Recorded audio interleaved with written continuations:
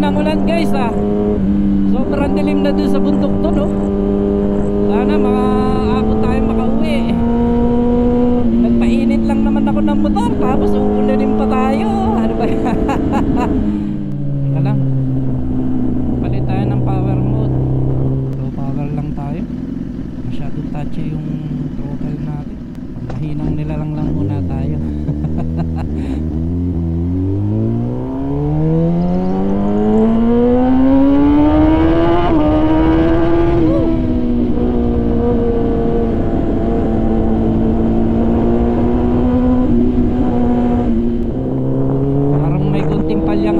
Nga itong motor eh. Hindi ko alam, baka sa gasolina.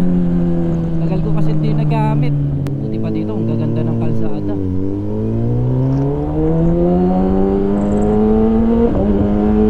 Rides lang naman tayo, aso!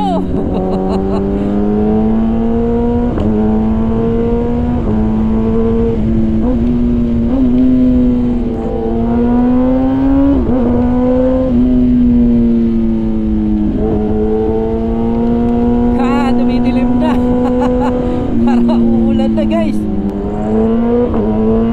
Ay! Nakapatay pa tayo ng insekto.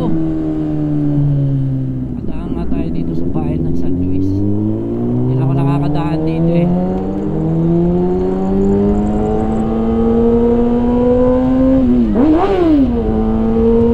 Ayan, bomba raw.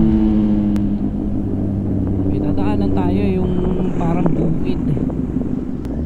Eh pero dito kasi sa lugar namin wala ka namang pagpipili ah. Mga puno, tubigan, beach ah. pero try na lang natin, maiba-iba naman. Baka baka walang nadaan doon. Kalimitan kasi kapag ka nagpapainit ako ng motor, hindi ko rin talaga trip dumaan sa mga highway na ganito. Kasi hindi pantay yung gas-gas sa gulong. Gitna lang yun nauubos. Kahit nga sa pagsushoot, bihira ako mag-shoot dito eh. Hindi ko alam kung bakit. Eh pero maganda naman to lugar. Tapos kapag ka magpapalipad ka ng drone, maganda rin kasi walang mga puno. Eh siguro nakatamaran ko lang din kasi malayo.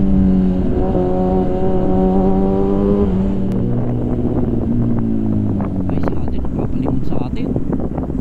Masama yung limon niya. Ay wala po tayong balak na masama ate. Makikilagpas lang po. Sasabihin niya, tinututukan natin, tinitingnan natin yung pet niya. Joke lang. Go!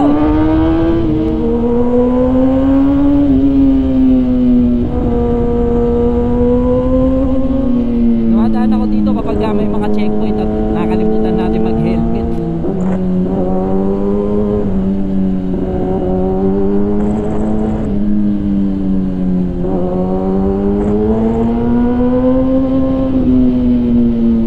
Nakakatanggal talaga ng stress kapag ka nakakapag-motor eh.